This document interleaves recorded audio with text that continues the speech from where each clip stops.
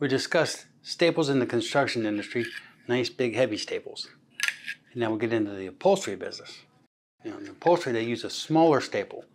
And we also have the tools that are designed to put the staples into the upholstery so that they don't cut through the upholstery.